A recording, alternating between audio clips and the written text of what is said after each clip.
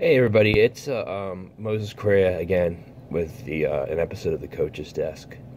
Um, I hope you're enjoying this series. It, uh, it's something I kind of came up with to bridge the gap a little bit, just get my thoughts on some topics, and uh, agree or disagree. Um, I appreciate if you uh, are listening uh, and watching. So um, today's topic is one thing I think that we sometimes miss as coaches. Um, with our with our athletes and with our clients.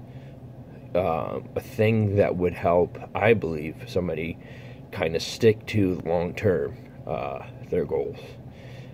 Um, every once in a while, we're fortunate to get those people that are like super disciplined.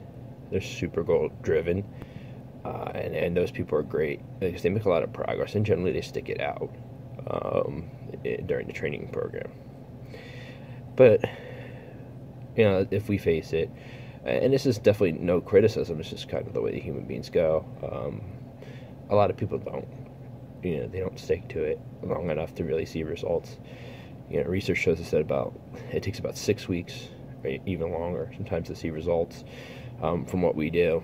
And sometimes they're not right away. I've had people where, for whatever reason, they're not sleeping or whatever like that. They're trying to lose weight, and uh, they're pushing and or discipline themselves with their nutrition, and nothing really happens uh, until a few weeks later. And, and maybe it is that they start to sleep a little bit better. Maybe it is that they're actually giving themselves recovery time, uh, which is really important to see results. But we won't get into that today. We'll talk about that another time. But uh, what is this being happy?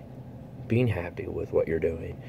I was talking to one of my friends uh, yesterday for, for a little bit and uh, she was talking about her kind of newfound love, you know, uh, in fitness, and uh, how it kind of didn't fit the uh, the general consensus of the, of the populace, and uh, you know, came down to it is, well, are you happy with it? Because it doesn't really matter what other people say about you. So think about trying to find what your clients like the best you can and then doubling down on that and then of course doing the things that are needed. So if they don't like to stretch you got to put it in somehow. Um, if they don't like to uh, do loaded carries i don't know why they wouldn't um, figure out a way to add those in in the midst of what it is that they do and what they enjoy all right, and, and I believe that even with yourself, um, if you find something that you enjoy, you'll stick to it. I really do believe that.